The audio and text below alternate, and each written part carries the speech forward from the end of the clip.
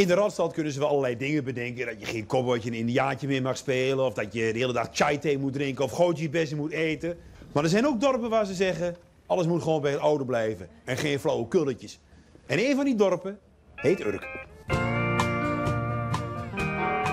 Waarom is er eigenlijk hier dat jullie hier op Urk eigenlijk alles net een beetje anders doen dan in de Randstad en zo? Ja, dat is nog van, als van oud, hè. Zoals onze eh, voorvaders het deden.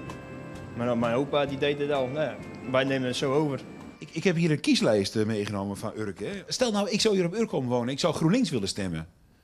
Kan dat? Moet u een eigen partij oprichten. En, en als ik hier aan D66 zou willen stemmen?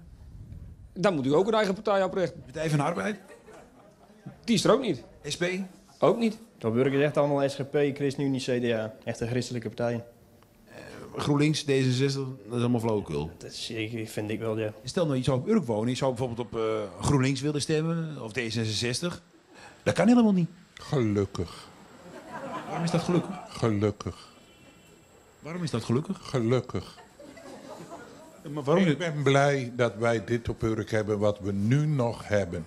Dat wij in onze raadsvergaderingen kunnen spreken vanuit Gods woord.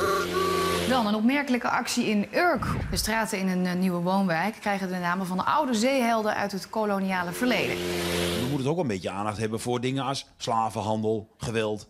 Ja, kijk, we kunnen van alles wat vinden. Bij ons in de schoolboekjes leren we dan gewoon dat Michiel de Ruiter een zeeheld is. En bij ons op de Obade Koninginnedag zingen we in een blauw geruite kiel. En Pietijn, zijn naam is Klein. En eigenlijk gaat de Randstad, of, of die linksdenkende mensen, ons, willen ons dat afpakken. Nou, daar zijn wij niet van. Toch even, even de rest van het lijstje afvinken dan. Hè? Bijvoorbeeld, eh, ik noem maar iets, Zwarte Piet. Welke kleur heeft die nog op Urk? Zwarte Piet is op Urk gewoon zwart. En dat wordt niet veranderd. Zijn toch Zwarte Pieter? Genderneutrale toiletten, eh, zijn die hier ook al te vinden? Of Nee, die, die zijn hier niet en die komen er ook niet. Dat doen we ook niet aan mij hier op Urk. Op burger zijn gewoon man of vrouw. En niet tussenin. Nou ja, het- bestaat toch wel? Sommige mensen zitten er een beetje tussenin. Ja, maar op Urk niet. Wat vindt u eigenlijk het gekste aan de Randstad? Nou ja, dat, dat is alles.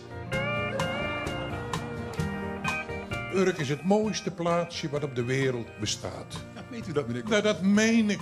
Natuurlijk. Ik durf bijna niet hardop te zeggen. Ik denk, een beetje ouderwets. Daar voelen wij ons uitermate comfortabel bij. Mag ik u vriendelijk danken. En wij gaan weer terug naar het, eh, ja, ik durf bijna niet te zeggen, het goddeloze Westen. Nee hoor, nee dat is niet waar. Dat mag u niet zeggen. We zijn allemaal van dezelfde lap gescheurd. U bent niet minder, ik ben niet beter.